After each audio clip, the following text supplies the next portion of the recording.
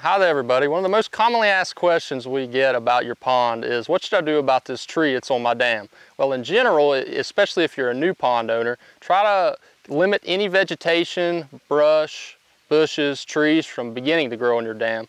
But if you have an older dam or you've inherited an old pond, then you might need to know how you should manage uh, trees that are already existing there.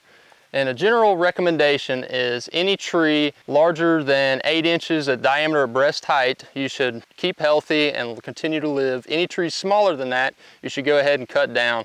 So we're gonna demonstrate here how you should measure your tree. Simply just take a tape measure, pull it out across, and as you can see, that tree is about seven and a half inches diameter, so it should be removed from your dam.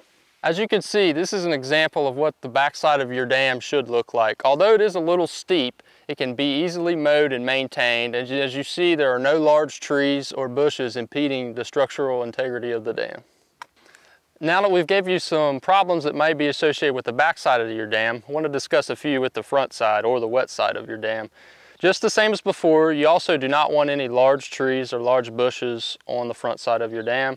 However, you see these small bushes here, they aren't really harming the structure of the dam itself other than just impeding your fishing from shore.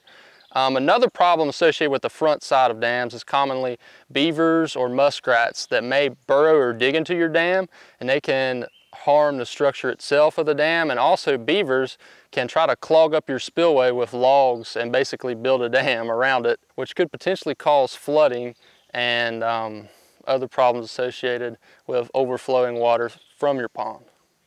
As previously mentioned, if your spillway pipe does become clogged by beavers or other sources, this excess water will exit through your emergency spillway system.